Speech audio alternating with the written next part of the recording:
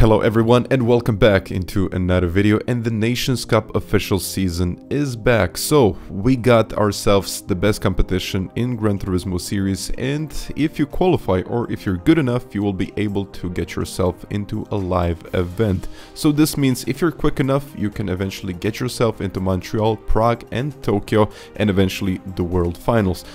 The biggest disappointment of the whole season is that only 5 drivers from Europe will eventually be able to make it to the World Tour, which is quite difficult to do. Only top 5 guys will make it. And in general for the manufacturer season we will have kind of a different situation where only the top guy from each competitional region will eventually make it to that regional event. Of course, this is a live event and everything can be found on the Gran Turismo website. And if you want to qualify, you can as well try in the official races in the game. So I decided to give it a shot and you probably can see how many points are in this lobby. So these are by far the biggest points that we had and all of these drivers are ex-World Tour drivers or our World Tour drivers or are very, very high up there. So this is, well, the top of the top. And I was able to qualify in P13 in this lobby. So as I said to myself, I'm gonna only gonna do this one just for fun. I'm not gonna take it too serious because getting into the top 5 in the region is extremely difficult.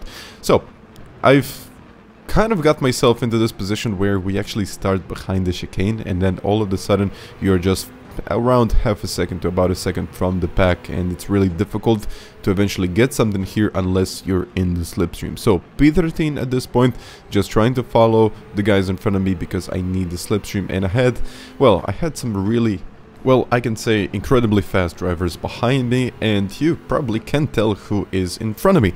So, I'm just trying to stay in the slipstream and try not to make a mistake. So for the first one, it was kind of difficult because I didn't really know the track limits. I think I knew it, but on this circuit it's pretty random in my opinion. So sometimes you think you're gonna get a penalty and you just get away with it, and sometimes it feels like, okay, I got through the section clean and unfortunately you pick up a half a second penalty. So here, as you can see, a couple of, well, in a couple of corners we had ghosting. I guess the reason for it because we had so many of those corners where it's really easy to actually hit someone and since we had heavy damage it was pretty difficult to avoid some of the well some of the potential situations.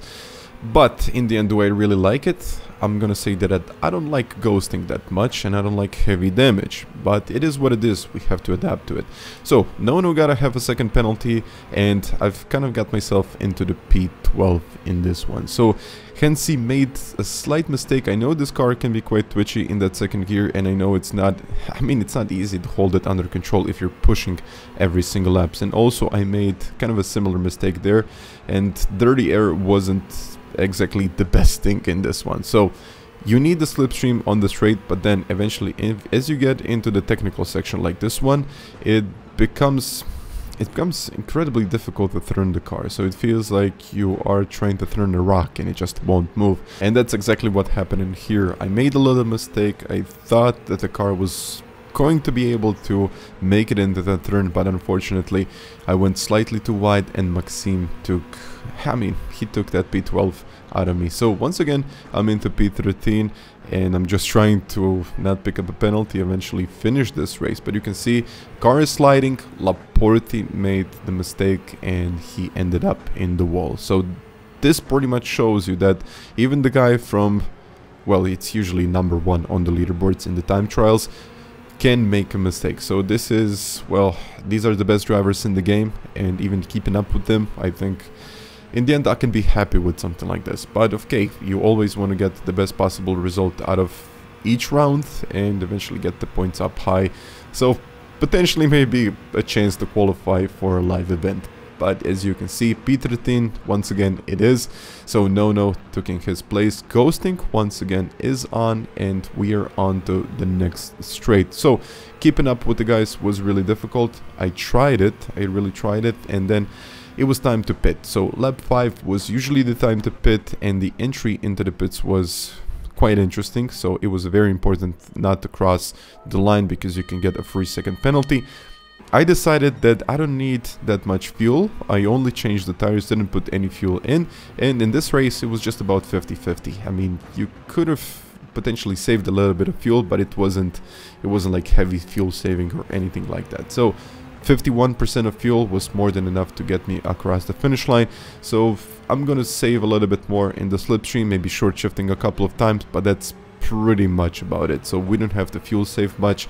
It's just about staying in the slipstream, revving up the car, and eventually not getting a penalty because that's the one that actually slows you down the most.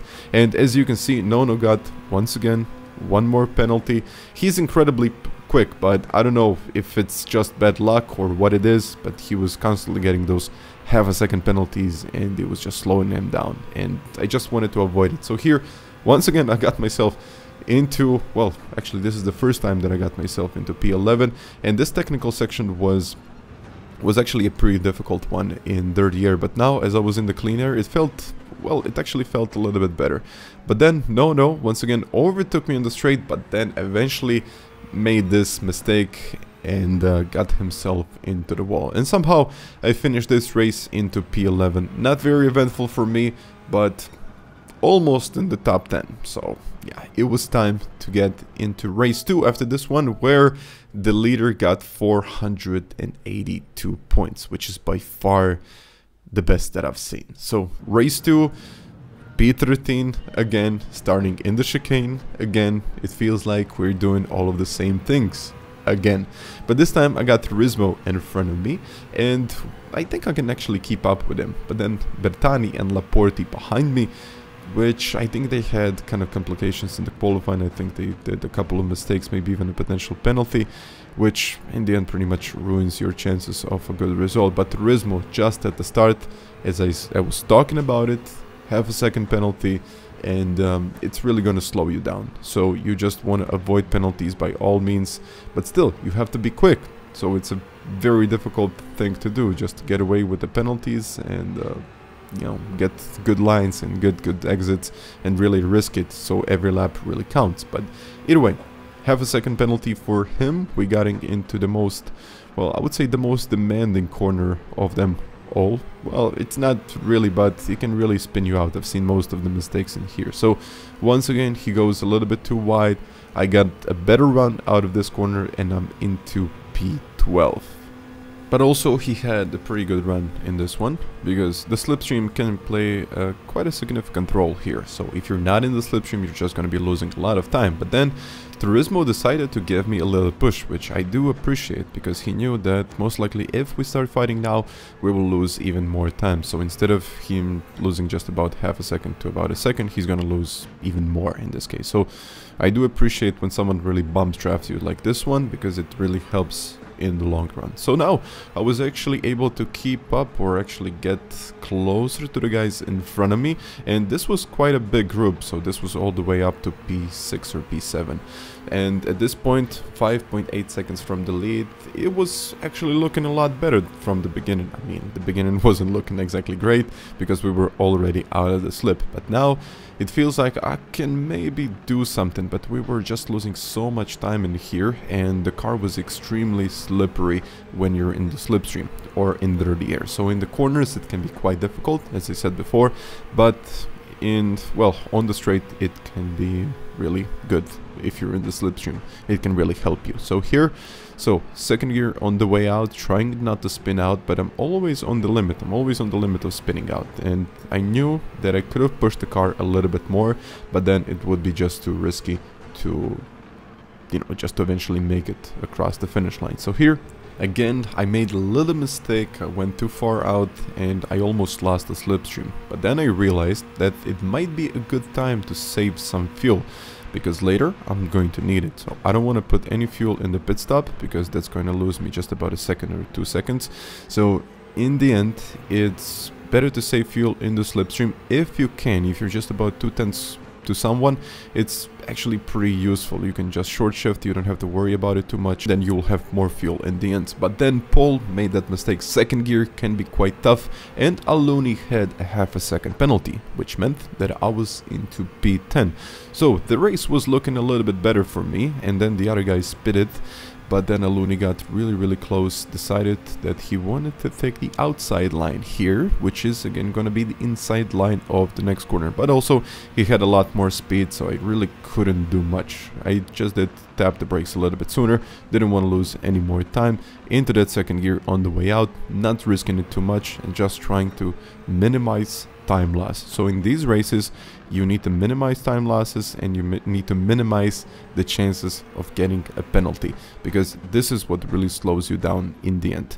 And it was time once again for a pit stop but this time I had actually a little bit less fuel than I hoped to so 50% in I decided not to get any more fuel in and just get out there so it was quite risky because I knew that I had to save a little bit more fuel maybe 1 or 2% which is usually done by short shifting and then I saw that Tsutsu had a 3 second penalty which meant that he probably crossed the entry or the exit line of the pit. I think this is quite harsh and I think it shouldn't be 3 seconds because you will never ever get a 3 seconds advantage and I just think this needs to be changed to maybe like a half a second to a second. 3 seconds is just too much and does it does ruin your race. But now Bertani almost made it work on the outside, but then he did make it work, but now it's the inside. So very well done, very well positioning, and I was back into P10. So from P9 into P10, the race, you know what, it was already 13 seconds from the leader, like Josetti was flying, followed by Koke and Killian. They were absolutely destroying everyone, I think, in this lobby, and it was just incredible pace. Unfortunately, I couldn't keep up with them. I think I was just about on average a second slower per lap. So I knew that if I can get it into the top 10, I would be pretty happy with this one. So just trying to stay up with Bertani. He's once again a really quick driver and it's really difficult to follow him. But you never really know. Someone can make a mistake, someone can get a penalty. But then I made a mistake. I almost got a penalty and Tsutsu decided, or not decided, he really went for it because I just didn't have any straight line speed now. So in the inside of this corner, I realized that this is, I mean, this is not my fight. I just want to get out of this corner. I just want to get it clean and that's exactly what I did. So once again into the slipstream, just trying to take the most out of the situation. Eventually he overtook Bertani and get himself into P9. But then it was the last lap and I think it was the most interesting part of the whole race. So into P11 and I realized that Matt in front had a penalty. So all the way up to P8 we can maybe manage to do something. So there is a potential place that I can get and I'm into slipstream, which means that I will have a better run on the next straight. So positioning the car is absolutely crucial in here. So deciding kind of to give him, well, let him know that I'm there. But then I saw yellow flags and once again I saw Nono. He was I guess the most unfortunate guy in this corner that I've ever seen. But I got myself once again into P10 and trying to see what can I do out of this situation because I knew that I will get the slipstream, I will get a better round, but then I got even more slipstream from Matt in front which had a half a second penalty which means that I will probably get even one more place. So on the outside there was a little contact, he decided to go on the outside of this one and yeah I almost lost the car. I thought it was over at this point and I don't know how I recovered the car from that one. Second gear on the way out, I'm incredibly close, I'm trying to take the most out of the situation. Matt is gonna serve his penalty, which is usually the toughest part of all because you're just doing so well and eventually in the last lap you need to take that penalty. But now, what can I do? So I think the only option here was send it on the outside of this corner, third gear and just push the power down and you hope that it sticks and it did stick on the outside of this corner, just getting myself into P8. And I guess this was half luck, half skill, because I think he was in 4th gear at that point, and if you're in 4th gear, you just don't have the reps up that high and you're not able to get that acceleration. So 3rd gear really helped me in that one, and I've managed to do that one on the outside nice and easy through these last couple of corners. I don't want to make a mistake. And then Tsutsu got once again, he got one more penalty, which meant that he's gonna lose a second. But for me, it was P8. And I said to myself, if I manage to get a top 10, I'm going to be pretty happy with this one. So 335 points for P8 and what can I even say? Congratulations to the winners of these lobbies because it was absolutely incredible pace.